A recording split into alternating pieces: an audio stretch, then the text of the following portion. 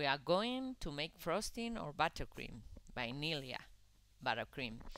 Then for that we use a mixer and first of all we place in it the butter. Uh, we are going to add in now the other principal ingredient that is the shortening or the uh, vegetable fat. We use Crisco, but you can use Parade or the one you usually have in our home.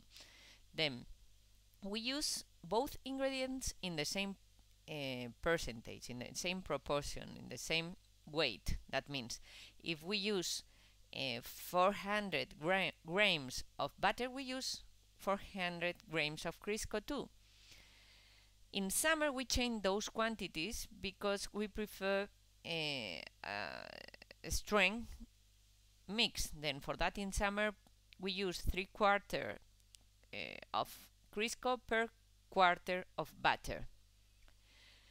We mix both ingredients in order to join the fats.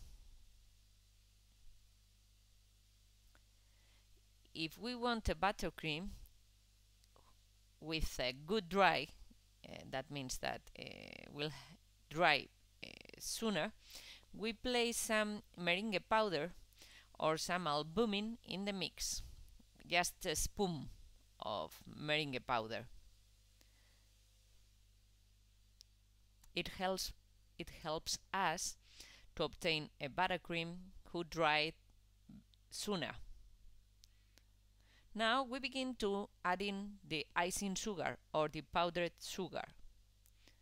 We add enough powdered sugar to obtain a mix with the strength we need.